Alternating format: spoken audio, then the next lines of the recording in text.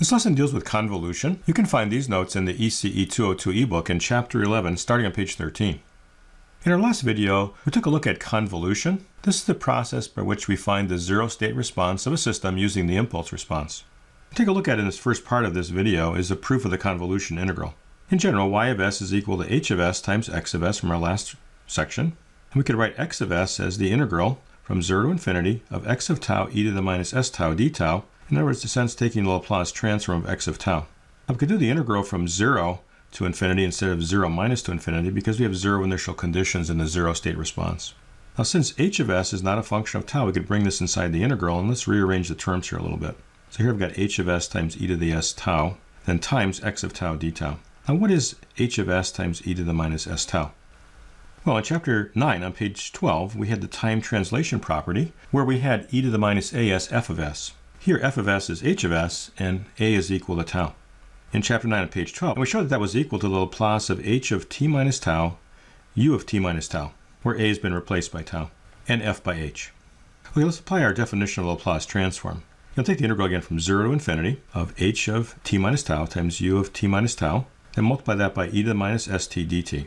So from our last page, y of s is the integral from 0 to infinity of h of s times e to the minus s tau times x of tau d tau. And putting in this expression here for h of s times e to the minus s tau.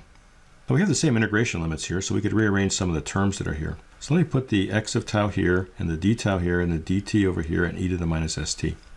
You think of this integral from 0 to infinity as the integral from 0 to t, and then the integral from t to infinity. What is the value of u of t minus tau? Well, it's equal to 0 when t is less than tau, or you could write it this way, whenever tau is greater than t.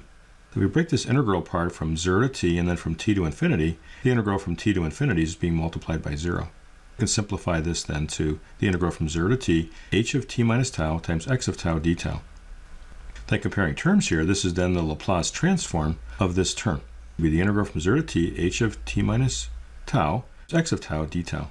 That's what we designated last time on page 11 for the shorthand notation for the convolution integral, which in other words, the h of t is convolved with x of t.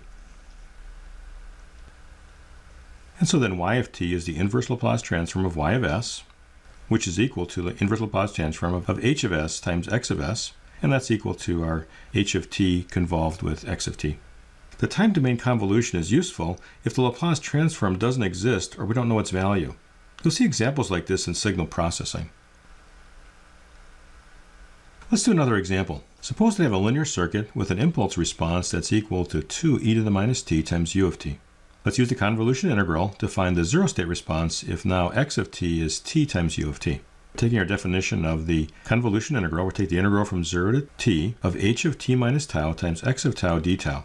Taking our h of t and replacing t by t minus tau, we have 2 times e to the minus the quantity t minus tau and then x of tau is just replacing t here by tau times u of t. We're taking the integral from 0 to t. So the value of u of t is equal to 1.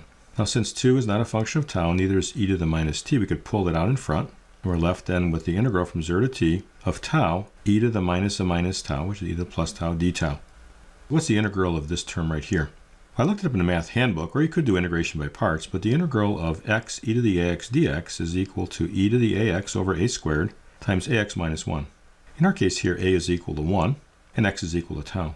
So we have 2 times e to the minus t, and then this integral then would be equal to e to the tau divided by 1 squared times tau minus 1, and evaluated from 0 to t. So plugging in tau equal to t, and then tau equal to 0, so you have e to the 0, and then 0 minus 1. So multiplying this out then, we have 2 times e to the minus t times e to the plus t. So if you add those two together, you get e to the 0, which is equal to 1.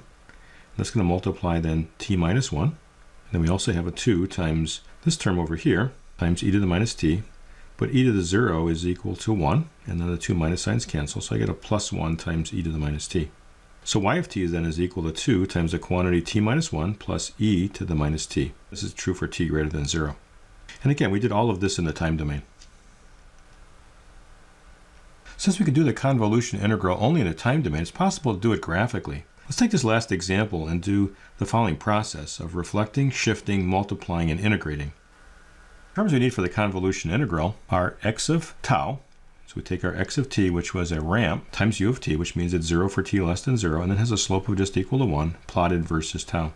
h of t was equal to 2 e to the minus t times u of t. So again, it's 0 for t less than 0. Has an initial value at t equals 0 plus of 2, and then we exponentially decay with e to the minus tau, plotted versus tau. Now we need to find h of t minus tau, so let's find h of minus tau. It's simply being a reflection along the y-axis. So where we had a plus, we now have a minus. So just flipping this over, we get an exponential coming up here and then going back to 0. And then lastly, we need to shift this by a value of t.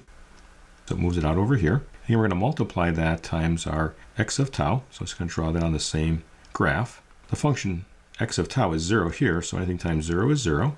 And likewise over here, h of t minus tau is also equal to 0, so it's 0 here. And we're going to multiply these two.